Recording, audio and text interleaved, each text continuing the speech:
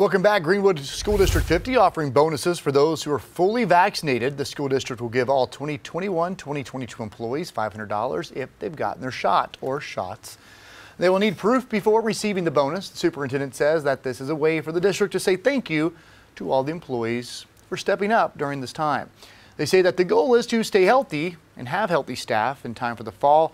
A reminder that Self Regional Healthcare is giving out vaccines to students 12 and up, parents and staff of District 50, and they have drive-through services available Monday through Friday from 8 in the morning until 5 p.m.